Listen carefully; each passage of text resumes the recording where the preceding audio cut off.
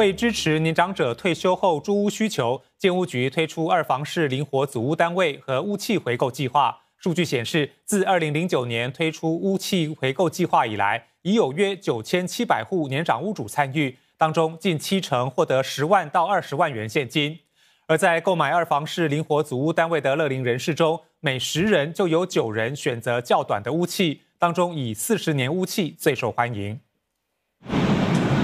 建屋局发文告表示，大约七成加入屋气回购计划的年长者，通过售卖剩余屋气给建屋局的方式套现，获得十万到二十万元的款项。在这些屋主中，百分之六十九的人在填补公积金退休户头的基本存款后，仍可获得部分现金；而那些通过屋气回购计划套现的屋主，在填补公积金退休户头后，还能够根据组屋类型获得当局发放的现金花红，数额介于七千五百元到三万元元之间。